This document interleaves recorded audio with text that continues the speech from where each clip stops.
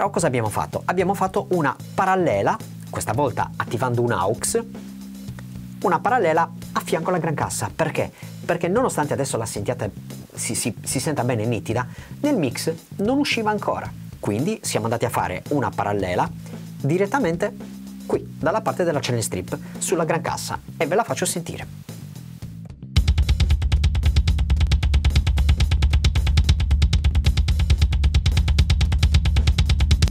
Vedete come la parallela va a rafforzare ancora la gran cassa, ma soprattutto va a schiarirla. Perché?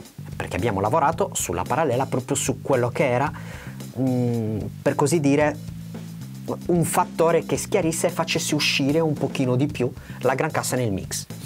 Andiamo a vedere come l'abbiamo lavorata anche qua.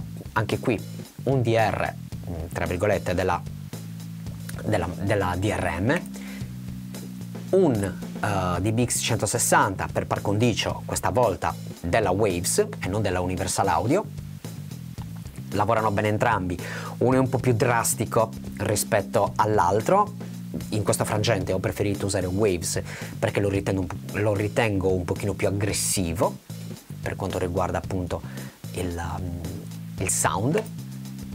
Dopodiché abbiamo aperto un'API, l'API 550, equalizzatore straconosciuto, strausato soprattutto, perché? Perché ci serviva ottenere, e ve lo faccio sentire, esattamente questo suono da poter missare al suono di gran cassa principale.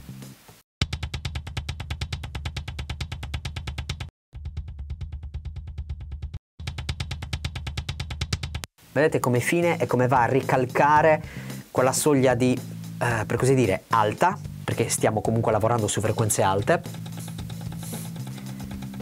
vedete qua è, è, importante, è una frequenza importante. Qui abbiamo parte del suono sui 60-70, ma siamo andati, tra virgolette, ad attenuarlo. Quello che sentiamo comunque mh, mm, alla maggiore è appunto il, mh, mm, quello che è il suono, diciamo, dai 3000 ai 5000, che è andato a missare al suono di gran cassa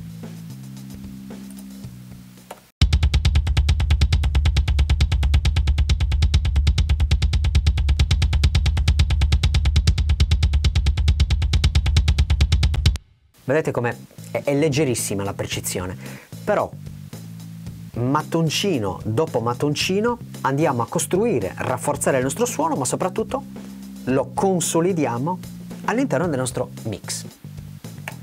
Un'altra cosa che vorrei farvi vedere da questa parte, come potete notare, da questa parte abbiamo dei VCA.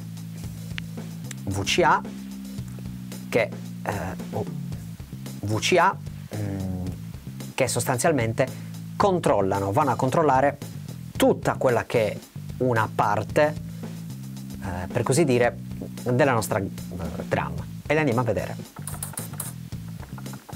Ad esempio, VCA drum. Se io vado a tirare giù, vedete che porta giù completamente tutto.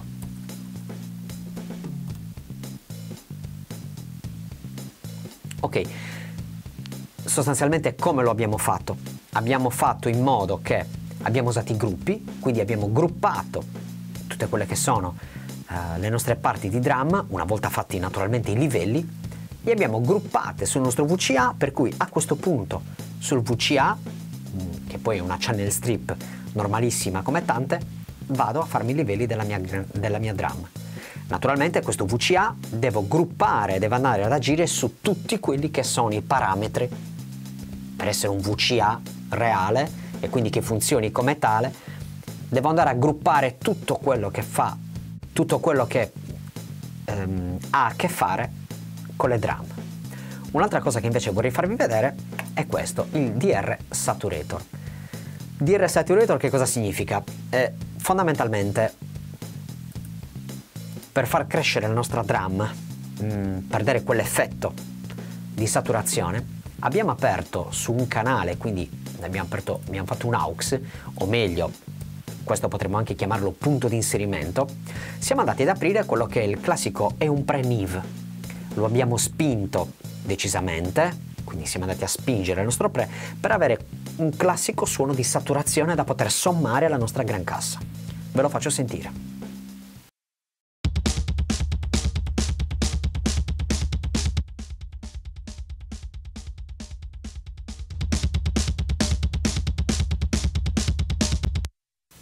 Ok?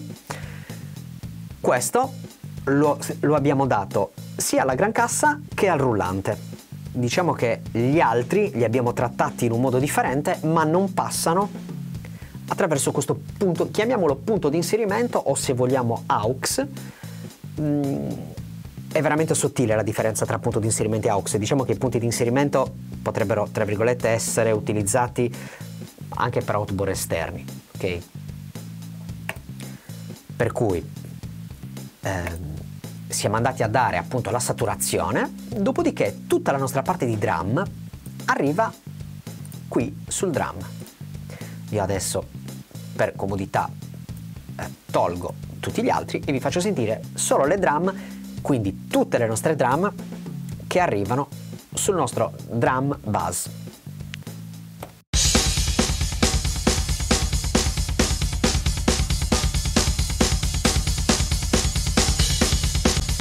Ok, a queste drum bass cosa siamo andati a fare? Siamo andati a fare una parallela soltanto sul kick e solo sullo snare. Andiamo a vedere la parallela, come funziona a questo punto la parallela con il kick, in send questa volta.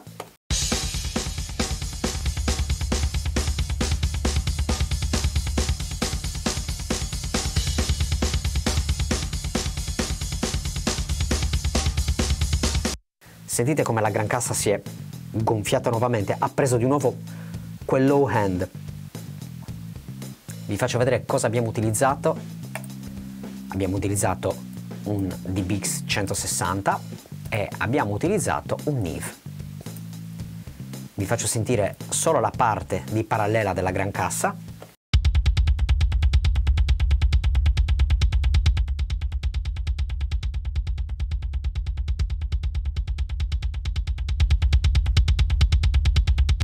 questa la siamo andati a sommare a quella che era la nostra gran cassa che veniva dalla parte della channel strip.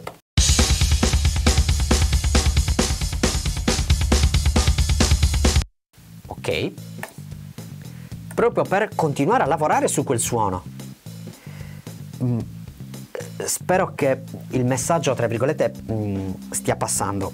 Nel senso come potete notare, il suono finale è fatto di tanti piccoli passaggi, tanti piccoli passaggi, e stiamo analizzando soltanto quella che è la gran cassa.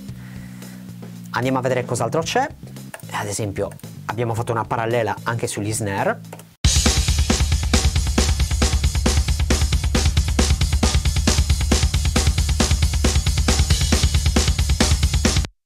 Dopodiché gli overhead. Andiamo a vedere come sono stati trattati.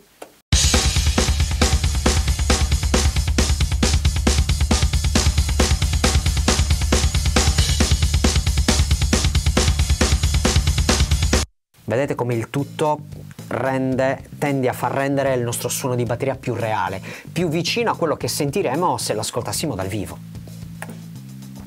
Questa è tutta la parte degli alti, ok? La parte degli alti che adesso vi faccio sentire, quali sono le differenze tra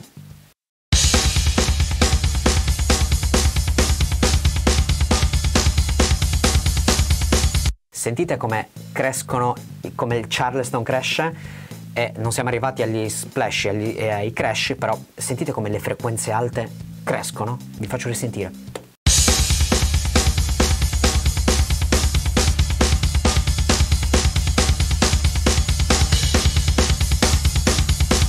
Sentite il Charleston come esce fuori? Ok?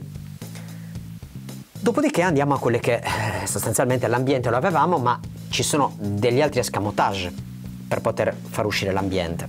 Adesso ne parliamo.